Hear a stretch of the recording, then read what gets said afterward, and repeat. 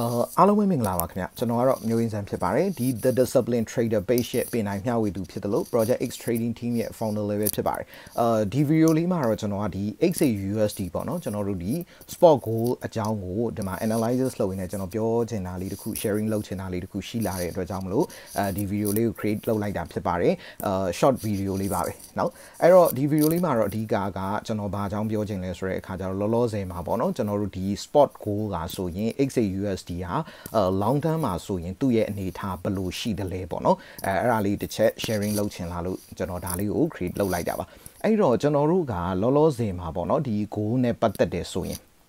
ဘာလို့တစ်ချက်အဲသတိထားရမလဲဆိုတဲ့အခါကျတော့ goal ကသူ့ရဲ့ဒီ bullish ဖြစ်ခဲ့တယ်ပေါ့နော်ကာလတစ်ခုကိုကြော်လွှားသွားပြီးတဲ့အခါမှာအဲကြော်ပြီးသွားတဲ့အခါမှာတော့သူဒီဘာဖြစ်လာနိုင်လဲဆိုတဲ့အခါကျတော့လောလောဆယ်မှာဆက်ပြီးတော့ပေါ့နော် more bearish has to come ပေါ့ long term မှာကျွန်တော်တို့ကဒါဒီ bearish ပေါ့နော်အကြဒီအဲဆက်ပြီးတော့ရှိလာနိုင်တယ်ဆိုတဲ့အနေအထားတစ်ခုပေါ့နော်ဒါလေးတစ်ခုကျွန်တော် technical analysis လုပ်ပြရင်းနဲ့ sharing လုပ်ပေးချင်တာပါ okay အဲ့တော့ကျွန်တော်တို့တွေက goal မှာလောလောဆယ်ပေါ့နော်ကျွန်တော်အားလုံးနားလည်အောင်လို့ W1 chart မှာအဲရှင်းရှင်းလင်းလင်းနဲ့ကျွန်တော်တတ်နိုင်သမျှအတူချုပ်ပြီးတော့ပဲပြောသွားပါမယ်အဲ့တော့ကျွန်တော်တို့ကဒီ W1 မှာပေါ့နော် weekly analysis မှာဆိုရင် goal ရဲ့အနေအထားဒီဘယ်လိုမျိုးရှိတယ်လဲဆိုတဲ့အခါကျတော့ကျွန်တော်တို့ဒီ သူ့ရဲ့ resistant တစ်ခုပေါ့နော်အင်တန်အားကောင်းတဲ့ weekly resistant ကအဲဘယ်ဇုံလောက်မှာကျွန်တော်တို့ဒီဖြစ်ခဲ့ပြီလဲဆိုတဲ့အခါကျတော့အဲကျွန်တော်တို့ဒီမှာဆိုရင်2050ပေါ့နော်အဒါဝင်းကျင်လောက်ပေါ့ဒါကတော့ကျွန်တော်ကခေါ်လို့ကောင်းအောင်မှတ်လို့ကောင်းအောင်လို့เนาะဒီ number လေးကိုယူလိုက်တာအဲ့တော့ဒီ2050ဇုံလောက်ဒီကျွန်တော်တို့ဒီကောင်ကတကယ် resistant ကောင်းကောင်းတစ်ခုဖြစ်ခဲ့တယ်ပေါ့နော်ရွှေဒီကာလာရှည်တက်ခဲ့ရာကနေပြီးတော့သူက ဘယ်နေရာမှာသူဒီ weekly resistance ဖြစ်သွားလဲဆိုတော့ဒီ zone ပေါ့နော်ဒါ2050ဆိုတာတော့ကျွန်တော်တို့ဒီ support resistance ဆိုတာတွေက zone လိုက်တွေသွားတာ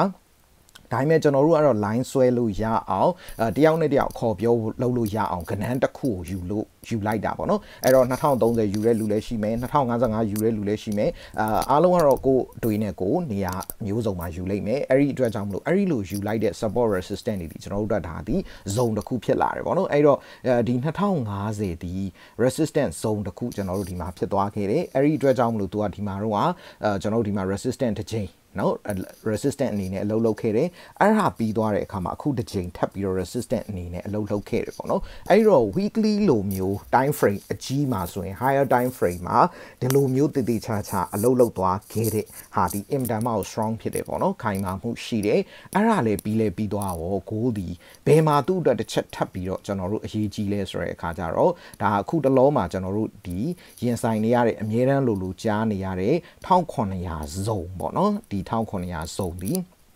ကိုအတွက်အရန်ကိုအရေးကြီးခဲ့တယ်။ဘာဖြစ်လို့လဲဆိုတဲ့အခါကျတော့ကျွန်တော်တို့ဒီမှာတော့က sport goal အတွက်ကသူက2050ကိုခေါင်းဆောင်ပြီးသွားတဲ့အချိန်မှာအဲ့ဒီ resistance ကနေထွက်ခွာလာတဲ့ price ဒီဘယ်ကိုရောက်လဲဆိုတော့ hori 1900ကိုရောက်တယ်နော်။ဒီနေရာကိုရောက်တယ် area ကနေပြန်တက်တယ်ပြီးတော့1900 hori မှာပြန်နင်းတယ်ဒီမှာကျွန်တော်တို့ hammer တစ်ချောင်းဖြစ်ခဲ့တယ်ပေါ့နော်။အဲ့ဒီ1900ကိုပြန်နင်းပြီးသွားတဲ့အချိန်ကျမှသူကဘယ်ကိုတက်လဲဆိုတော့2050ကိုနောက်တစ်ချိန်ထပ်ပြီးတော့သူအဲ့မှာ test သွားလုပ်တယ်ပေါ့နော်အဲ့လို test လုပ်လိုက်တဲ့အခါမှာ2050ကထပ်ပြီးတော့နော် strong resistant ထပ်ဖြစ်ပြီးတဲ့အခါမှာသူဒီအားကောင်းစွာနဲ့ထပ်ပြီးတော့အောက်ကိုကန်ချလိုက်တယ်1900မှာလည်း buyers ဒီဒီလူစုပြီးတော့သူတို့ကဘာလဲဆိုတော့ဒီကနေပြီးတော့ bounce back ပေါ့နော်အပေါ်ပြန်တက်ဖို့တော့စူးစမ်းသေးတယ်ဒါပေမဲ့မရတော့ဘူးကျွန်တော်တို့ဒီ1800ဒန်းလောက်မှာနေပဲရိုက်ချခံလိုက်ရပြီးတော့အောက်မှာ break out ဖြစ်သွားခဲ့ပြီးတော့အခုဆိုရင်ဒါ1900စုံပြီးအဲကျိုးသွားပြီလို့ပြောလို့ရတယ်ပေါ့နော်အဲ့တော့ကျွန်တော်တို့ကပြောမယ်ဆိုရင် ဘာရှိခဲ့လဲဆိုတဲ့အခါကျတော့လောလောဆယ်ပေါ့နော်ဒီ goal မှာဆိုရင်အဲဘယ်လိုမျိုးမြင်နိုင်လဲဆိုတဲ့အခါကျတော့ hori 2050ပေါ့နော်အဲ့ဒီ zone ဒီအာဒါလောလောဆယ်မှာ resistant အနေနဲ့အင်မတန်အရေးကြီးတဲ့ zone တစ်ခုဖြစ်တယ်လို့ support အနေနဲ့ဆိုရင်လည်းသူကဘယ်သူကအလုပ်လုပ်ခဲ့တာလဲဆိုတော့1900 support ဒီအင်မတန်မှကိုအားကောင်းတဲ့နော် weekly support တစ်ခုဖြစ်ခဲ့တယ်ဒီ zone နှစ်ခုအပြိုင်ကျဲကြတာပေါ့နော်အဲ့တော့ sellers တွေကလည်း2050ကနေပြီးတော့ရောင်းတယ်ဒိုင်ငံထိုင်ရောင်းတယ် buyers တွေကလည်းအဲ1900ကနေပြီးတော့ဝယ်တယ်ပေါ့နော်ဆိုလိုတဲ့သဘောကကျွန်တော်တို့ကဒါ supply vs demand ပေါ့နော်အဲ့တော့ ဆိုလိုချင်တဲ့သဘောကအယောင်သမားနဲ့သူကဘာနဲ့လဲဆိုတဲ့အခါကျတော့အဝယ်သမားနဲ့ဒီတယောက်နဲ့တယောက်ဘာလုပ်ကြလဲဆိုတော့အဲ့ဒီဂျားမှာအားပြိုင်တာ2050နဲ့1900ဂျားမှာအားပြိုင်မှုတွေဖြစ်ခဲ့တယ်အဲ့တော့ဖြစ်ခဲ့တဲ့အခါမှာ2050ကိုတော့ price ကနှစ်ကြိမ်တိတိမဖောက်နိုင်ခဲ့ဘူးအဲကျွန်တော်တို့ဒိုင်မဲ့ဘာဖြစ်သွားပြီလဲဆိုတော့အခု1900ကတော့ breakout ဖြစ်သွားခဲ့ပြီဖြစ်တယ်ပေါ့နော်အဲ့တော့ဆိုလိုတဲ့သဘောကကျွန်တော်တို့က buyers နဲ့ sellers ပေါ့နော် supply လို့ခေါ်တဲ့အယောင်သမားတွေနဲ့ demand လို့ခေါ်တဲ့အဝယ်သမားတွေမှာဘယ်သူဘက်ကရှုံးသွားပြီလဲဆိုတော့လောလောဆယ်မှာအာကျွန်တော်တို့ဒီ demand ဘက်ကနေပြီးတော့ရှုံးသွားတယ်လို့ဒါ weekly မှာကျွန်တော်တို့သိနိုင်တယ်ဒါကိုကြည့်တာပေါ့နော်အဓိကအဲ့တော့ okay ဟုတ်ပြီဒါဆိုရင် 1900ကကျိုးသွားပြီဖြစ်တဲ့အတွက်ကြောင့်မလို့1900ကျိုးသွားပြီးပြီဆိုရင်ဘာတွေဆက်ဖြစ်လာနိုင်လဲပေါ့နော်ဒါကိုကျွန်တော်တို့ကတစ်ချက်နော် sharing လုပ်ချင်တာအဲ့တော့ကျွန်တော်တို့ဒီမှာ1900ရှုံးသွားပြီဆိုတဲ့အချိန်မှာဒီ breakout နောက်ပိုင်းမှာသူဒီဘာလောက်ထားလဲဆိုတော့ဒီ1900 retest ပြန်လောက်ထားတယ်ဒါ forex ရဲ့သဘောတရားအရ horizontal support နဲ့ resistance ဒီမှာဒါက သူကအမြဲတမ်းလိုလိုကျွန်တော်တို့ breakout ဖြစ်ပြီးသွားရင် retest တွေပြန်လာတယ်အဲ့တော့ဘာဖြစ်လိမ့်မလဲဆိုတော့1900ဒီသူကအရင်တော့ support line တစ် line ဖြစ်ခဲ့တယ်အဲ့တော့နောက်ပိုင်းမှာသူကဘာလဲဆိုတော့ဒီ retest တန်တွေကိုခံရင်းနဲ့1900ဆုံးဒီဘာဖြစ်လာဖို့လဲဆိုတဲ့အခါကျတော့ resistant ဖြစ်လာဖို့အတွက်ကိုဖြစ်မလားမဖြစ်ဘူးလားဆိုတာကိုဒါဒီကျွန်တော်တို့ကတည်တည်ချာချာစောင့်ကြည့်ရတော့မှာအဲ့တော့1900 zone ဒီ resistant အနေနဲ့ ပို့ပြီးတော့ခိုင်မာလာလေလေ more bearish has to come ပေါ့နော်ကျွန်တော်တို့ဒီပို့ပြီးတော့အကြသည်ထင်ရှားပြင်းထန်လာလေလေအဲဖြစ်လာလိမ့်မယ်ဒါကိုကျွန်တော်တို့ကစောင့်အဲ့တော့ဟုတ်ပြီကျွန်တော်တို့ကဒါ pattern အရာတွေဘာတွေကြည့်မယ်ဆိုရင်လဲ sorry နော်ကျွန်တော်တို့ pattern ရရကြည့်မယ်ဆိုရင်လည်းဒါဒီဒီမှာ top 1ဒီမှာ top 2ဆိုတော့ဒါဒီ double အာဒီ double top ဆိုတဲ့ pattern လေးဖြစ်ခဲ့ပြီးသွားပြီ double top ရဲ့ theory အရဆိုရင်လည်းသူကအောက်ကိုသွားဖို့ရှိလိမ့်မယ်အဲ့တော့ကျွန်တော်တို့ဘယ် zone နေဒီရေးပါလာမလဲအဲ့တော့ horizontal support and resistance သဘောတရားအရဆိုရင်တော့အာရွှေဒီ at least ပေါ့နော်ကျွန်တော်တို့ဒီနားမှာ zone တစ်ခုအားကောင်းတဲ့ zone တစ်ခုရှိတယ်အာ1450ပေါ့နော်အဲ့ဒီကောင်ဒီ at least ဒီကိုသွားဖို့ရှိမယ်အဲ pattern သဘောတရားအရဆိုရင်လည်းကျွန်တော်တို့ကဒါ pattern နေဒီ double top double bottom pattern တွေကတဆသွားလေးရှိတဲ့အတွက်ကြောင့်မလို့เนาะကျွန်တော်ကတော့ body တွေပဲယူတယ် okay အဲ့တော့ကျွန်တော်တို့ကเนาะကြည့်လိုက်မယ်ဆိုရင်ဒီကောင်းနေသည်เนาะသူ့ရဲ့เนาะတဆဒီဘယ်မှာသွားပြည့်မလဲဆိုတဲ့အခါကျတော့ကျွန်တော်တို့ဒီဇုံလောက်မှာသွားပြည့်မယ်နော်တဆဒီဒီဇုံလောက်မှာသွားပြည့်မယ်အဲ့ဒီဇုံကလည်းတိုက်တိုက်ဆိုင်ဆိုင်ကျွန်တော်တို့ဘာဖြစ်နေလဲဆိုတော့အရင်တော့ resistant နေရာဟောင်းတစ်ခု အဖြစ်ခဲ့ဘူးတဲ့နေရာတွေပေါ့နော် okay အဲ့တော့ကျွန်တော်အဲဒီမှာတစ်ချက်ယူလိုက်မယ်เนาะဒါ1380ပေါ့เนาะဒီဇုံเนาะအာဒါဒီ double top တစပြည့်မဲ့နေရာပေါ့အဲ့တော့ကျွန်တော်တို့ခေါင်းထဲမှာလောလောဆယ်မှာ market ထဲမှာဘာတွေသိရမလဲဆိုတော့ဒီကဏ္ဍတွေဒီထင်ထင်ရှားရှားသိရမယ် weekly analysis ရဲ့ကဏ္ဍတွေဖြစ်သွားပြီ2050ဟာ resistant အနေနဲ့ခိုင်ခိုင်မာမာပေါ့နော်သူဒီမှာတစ်ချက်ဒီမှာတစ်ချက်အလုပ်လုပ်ခဲ့တယ်အရင် support ဟောင်းဖြစ်ခဲ့တဲ့ hori 1900ဆုံးကကျိုးသွားပြီ ကျိုးသွားပြီးတော့သူဒီမှာ retest တွေလာနေတယ်အဲ့တော့1900ဒီကျွန်တော်တို့အတွက် resistant ဖြစ်မဖြစ်ဒါဒီအရေးတကြီးစောင့်ကြည့်ရအောင်မယ်တကယ်နေရာကောင်းဖြစ်သွားပြီအဲ့ဒီကနေကြာလာရင်ကျွန်တော်တို့ကနော် support resistant သဘောတရားအရာဆိုရင်1450ကလည်းလွယ်လွယ်နဲ့တော့ဖြတ်သွားနိုင်မှာမဟုတ်ဘူးအရင်တော့နေရာဟောင်းဖြစ်ခဲ့ဘူးတယ် pattern သဘောတရားအရာဆိုရင်ကျွန်တော်တို့က1380ဒီအဲ့ဒီဈေးတန်းဒီ imdan အရေးကြီးတဲ့ဇီးရန်တစ်ခုဖြစ်လာလိမ့်မယ်အဲ့တော့ပြောမယ်ဆိုရင်တော့ဒီ1900ကနေရွှေပြီးဘလောက်ထိသွားနိုင်လဲဆိုတော့1380လောက်ထိသွားနိုင်တဲ့ bearish ပေါ့နော် bearish ဖြစ်လာနိုင်တဲ့ potential ဒီအဲကျွန်တော်တို့ရှိနေတယ်ဆိုတာလေးကိုကျွန်တော်အနေနဲ့ sharing လုပ်ချင်တာပေါ့နော် okay အဲ့ဒါဆိုရင်ကျွန်တော်တို့ကနော်ဒါကတော့ကဏ္ဍတွေကိုကျွန်တော်တို့ကအရင်ဆုံးဟိုဒီ တော့နော် analysis ကနေပြီးတော့ရလာတဲ့ကဏ္ဍတွေကိုကျွန်တော်တို့ကခေါင်းထဲမှာအဲထည့်ထားလိုက်မယ်သဘောတရားအရာကျွန်တော်2050 1900 1450 1380ဒီကဏ္ဍတွေဒီအရေးပါလာတော့မယ်ဒါ weekly analysis ကနေပြီးတော့ကျွန်တော်က potential ရှိနေတဲ့ zone တွေကိုယူလိုက်တာ okay ဒါဆိုရင်ကျွန်တော်တို့က number တွေကိုတည်သွားပြီဆိုရင်နောက်တစ်ချက်ကခေါင်းထဲမှာဘာကိုထပ်ထည့်ရမလဲဆိုတော့ဘယ်ရက်တွေဒီကျွန်တော်တို့ forex အတွက်အရေးပါမလဲ နော်ဆိုတဲ့အခါမှာကျွန်တော်တို့က American မှာ American ဗဟိုဘဏ်ရဲ့ FOMC meeting တွေအဲ့ဒါတွေဒီအရန်အရေးပါတယ်ဘာလို့လဲဆိုတော့ FOMC meeting ရှိတဲ့ရက်တွေမှာကျွန်တော်တို့ကသူကပို့ပြီးတော့ market ဒီလှုပ်ရှားလေးရှိတယ်နော်အဲ့တော့ကျွန်တော်တို့ဒီမှာဆိုရင်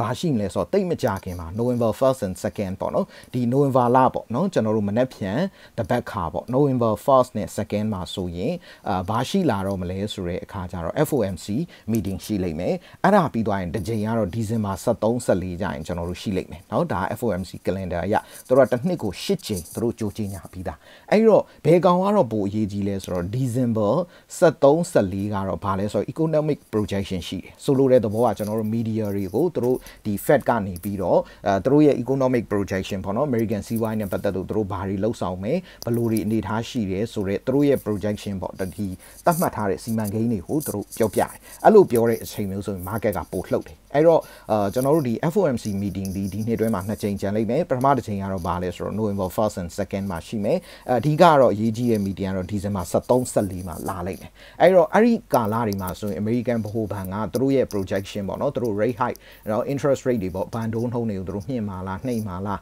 နော်ဒါမှမဟုတ်ရင်ဒီတိုင်းပဲဆက်ထားမလားစသည်ဖြင့်ပေါ့သူတို့ရဲ့ projection တွေကိုအဲသူတို့ပြောပြတယ်နောက် decision making ကိုလည်းအဲ့ဒီအချိန်မှာလည်းဘန်ဒိုးနှုန်းနဲ့ထွက်တယ် အဲ့တော့ဘာကြောင့်ထွက်တာလဲတို့ဘာကြောင့်တက်တာလဲတို့ဘာကြောင့်ကြတာလဲတို့အဲ့ဒါတွေဒီကျွန်တော်တို့အတွက်အရေးမကြီးဘူးဒါပေမဲ့ဘာတော့အရေးကြီးလဲဆိုတော့ဘယ်နေ့တွေမှာဒီ economic projection ဒါမှမဟုတ်ရင် FOMC အစည်းအဝေးဒီဘယ်ရက်တွေမှာရှိတယ်လဲဆိုတာတော့ကျွန်တော်တို့အရေးကြီးတယ်။ဘာဖြစ်လို့လဲဆိုတော့ market ဒီအဲ့ဒီရက်တွေမှာပဲ decision ကြတယ်။ဆိုလိုတဲ့သဘောကကျွန်တော်တို့က market ထဲမှာကနော် supply နေရှိနေတယ် နော်ပြီးသွားတဲ့အခါမှာကျွန်တော်တို့အဝယ်ဘာတွေရှိနေလဲဆိုတဲ့အခါကျတော့ demand တွေရှိနေတယ်အဲ့ဒီ supply တွေ demand တွေဒီနော်စုပြီးတော့ကျွန်တော်တို့ကဘယ်လိုရက်တွေမှာတော့ market ကရွေးရှားမှုဖြစ်လဲဆိုတော့အဲ့လို FOMC ရက်တွေမှာရွေးရှားမှုဖြစ်တယ်ပေါ့နော် okay အဲ့တော့ကျွန်တော်တို့ကဒါ date ကိုလည်းတည်ပြီးနော် market မှာအရေးကြီးတဲ့ weekly analysis ရဲ့နော်အဲဒီ point တွေကိုလည်းကျွန်တော်တို့ကတည်ပြီးဆိုတဲ့အခါမှာဘာလုပ်လို့ရသေးလဲဆိုတဲ့အခါကျတော့အဲဒီ one လို့နေရာမျိုးမှာကျွန်တော်တို့ကအဲဒီရွှေကိုပေါ့နော် market ကဘာတွေဖြစ်လာမလဲဘယ်လိုရင်ဆိုင်မလဲဆိုတာကိုကျွန်တော်တို့ဒီသွားလို့ရတယ်လောလောဆယ်ကျွန်တော်တို့အတွက်အရေးကြီးဆုံးကတော့ဒါ D1 ပေါ့နော်ကျွန်တော်တို့ကတော့လုံးဝ lower time frame တွေ trader ကိုလည်းလုံးဝအားမပေးဘူး lower time frame တွေကိုလည်းလုံးဝ trading မလုပ်တဲ့အတွက်ကြောင့်မလို့ကျွန်တော်တို့ဒီပုံမှန်ကတော့အမြဲတမ်းလို့လို့ပြောခဲ့တယ်လို့ပဲကျွန်တော်တိုက်တွန်းခဲ့တယ်လို့ပဲကျွန်တော်တို့ကတော့ time frame ဆိုရင် D1 မှာပဲ trade လုပ်တယ် အဲ့တော့ကျွန်တော်ဒီမှာပဲ analysis ကိုဖတ်ပြီးတော့လုပ်ပြသွားမယ်ပေါ့နော်အဲ့တော့ဘာဖြစ်လာနိုင်တယ်လဲဆိုတဲ့အခါမှာကျွန်တော်တို့ကလောလောဆယ်မှာရွှေကနော်အာ D1 မှာဆိုရင်ကျွန်တော်တို့ဘယ်ထဲမှာသွားနေလဲဆိုတော့ Hori channel ပေါ့နော်ကျွန်တော်ဒီမှာ channel လေးတစ်ခုကောက်ဆွဲလိုက်မယ်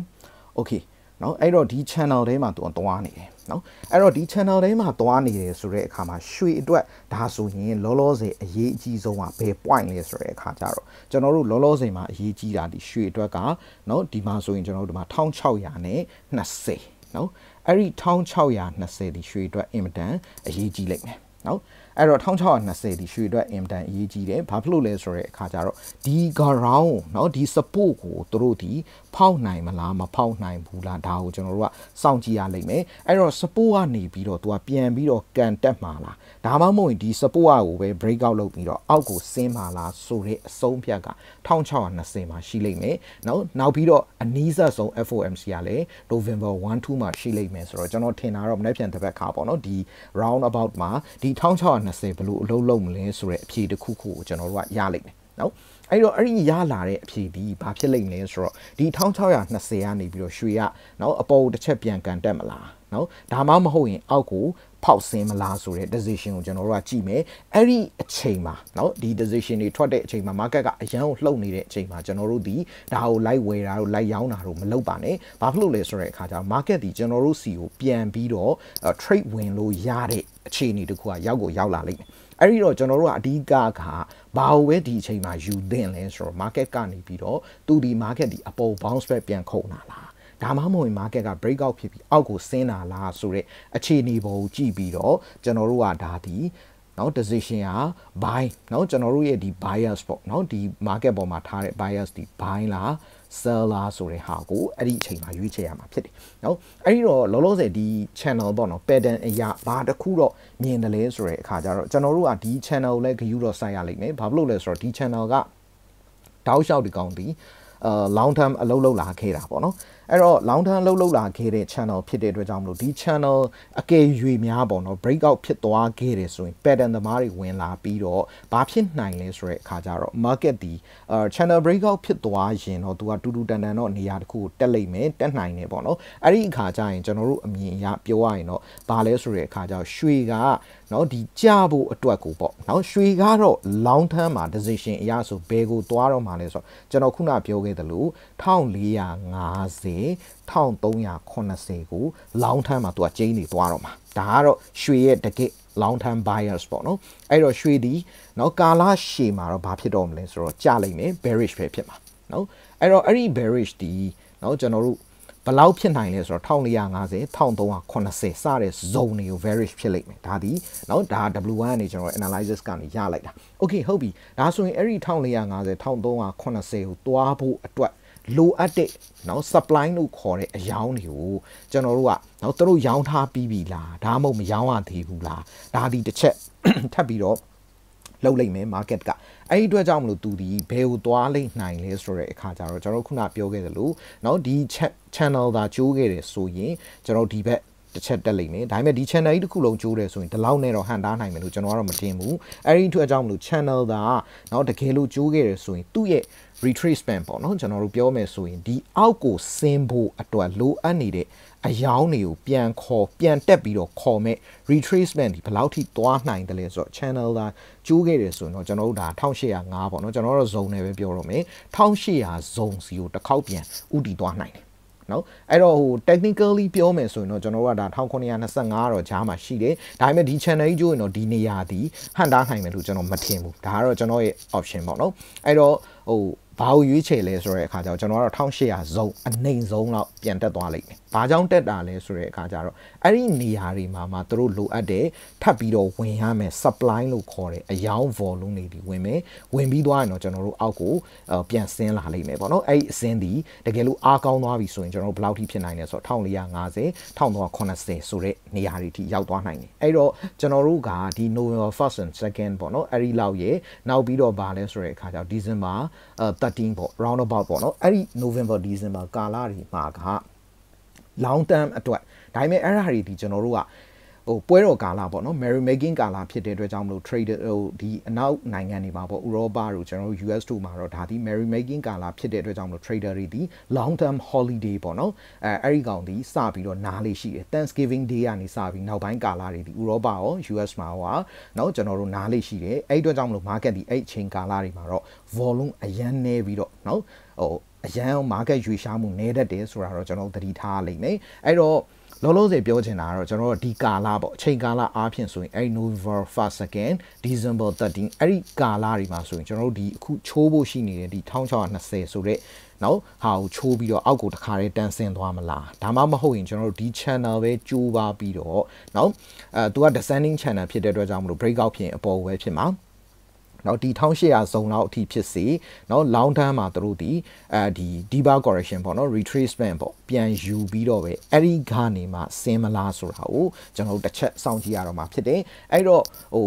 တခုခုပေါ့နော်ကျွန်တော်တို့ bias အနေနဲ့ရွေးချယ်ဆိုရင်တော့ရှင်းပါတယ်ရွှေသည်အဲလောလောဆယ် weekly analysis တွေအရာ long term မှာ bearish ဖြစ်ဖို့ရှိပါတယ်1450 1380စတဲ့နေရာတွေ bearish ဖြစ်သွားဖို့ရှိပါတယ်အဲဒါပေမဲ့အဲ့ဒီ bearish မဖြစ်ခင်မှာလိုအပ်နေတဲ့ supply လုံလောက်သွားပြီလားမလုံလောက်သေးဘူးလားဆိုတာတော့ကျွန်တော်တို့ကဒီကာလတွေမှာစောင့်ကြည့်ရတော့မှာအဲ့တော့1620 support ဒီကျိုးသွားမလားဒါမှမဟုတ်အပေါ်ပြန်တက်ပြီးတော့ဒီ zone တွေပေါ့နော်1800လို့ zone မျိုးကြမှာကျွန်တော်တို့အယောင်းနေဝင်မလားဆိုတာကိုစောင့်ကြည့်ရမယ်ဒါအောင်မှကျွန်တော်တို့ကကိုဆွဲထားတဲ့ trading အဲဒီ system ပေါ့နော်ကျွန်တော် trader တယောက်က trading system ရှိကိုရှိရမယ်ပြီးတော့ကို back candle တွေအသုံးပြုပြီးအရောင်းဝယ်လုပ်တယ်လေဒါတွေရှိရမယ်အဲ့ဒီအချက်လက်တွေအားလုံးနဲ့ပေါင်းဆက်ပြီးတော့မှကျွန်တော်တို့က decision ကိုချရမှာဖြစ်တယ်အဲ့တော့ market ကတော့ potential ဘယ်လိုရှိနေလဲဆိုတဲ့အခါကျတော့ long term မှာတော့ bearish ဖြစ်ကိုဖြစ်ပါလိမ့်မယ်เนาะအဲ့တော့ကျွန်တော်တို့ဒီအဓိကကတော့ support တွေ resistance တွေပေါ့เนาะဒီ zone တွေကိုစောင့်ကြည့်ရပြီးတော့အဲဒီ channel လေးကိုလည်းတစ်ချက်စောင့်ကြည့်ထားစေချင်တယ်ဒီ channel ဒါ breakout ဖြစ်သွားခဲ့ပြီဆိုရင်တော့ deeper correction ယူလိုက်မယ်1800 zone လောက်အထိအနည်းဆုံးရောက်သွားနိုင်တယ်အဲ့တော့ဟို short term ပေါ့နော် buyer အနေနဲ့ဆိုရင်လည်းအာဒီ carefully ပေါ့နော်ဂယူးတစ်ဆိုင်နဲ့ကျွန်တော်တို့ဘာလုပ်ရမလဲဆိုတော့အခါကျတော့အာ short term or mid term မှာပေါ့နော်အဲ့ဒီအတက်မှာအာနည်းနည်းလေးဘိုင်းပြီးတော့မြန်မြန်ဝင်မြန်မြန်ထွက်ပေါ့နော်အဲအဲ့ဒီလိုမျိုး opportunity ရှိလာနိုင်တယ်ဒါပေမဲ့ long term ကိုပဲကြည့်တဲ့သူဆိုရင်တော့အဲ့ဒီလိုအာဒီ 1800 zone လိုနေရာမျိုးတွေပေါ့နော်ဒီ zone တွေကိုရောက်တဲ့အခါကျရင်တော့ကျွန်တော်တို့ဘာပြန်လုပ်မလဲဆိုတဲ့အခါကျတော့အာဒီအယောင်းကိုပြန်ပြီးတော့တည်တည်ချာချာစနစ်တကျနဲ့လုပ်ရမှာဖြစ်တယ်အဲ့တော့ လောလောဆယ်မှာတော့ကျွန်တော်တို့ကဘာလဲဆိုတဲ့အခါကျတော့เนาะဒီ support တစ်ခုကျိုးသွားပြီ W1 မှာကျိုးထားပြီးသားဖြစ်တဲ့အတွက်ကြောင့်မလို့ bias အနေနဲ့ဆိုရင်တော့ရွှေက bearish ဖြစ်နိုင်ကြီးတော်တော်လေးများတယ်ဆိုတာကိုကျွန်တော်တို့ဒီ technical analysis အရာ sharing ပြုလုပ်ပေးခြင်းတာဖြစ်ပါတယ်အဲ့တော့အားလုံးတော့အများကြီးကြိုးရှိမယ်လို့ယုံကြည်ပါတယ်ကျေးဇူးအများကြီးတင်ပါတယ်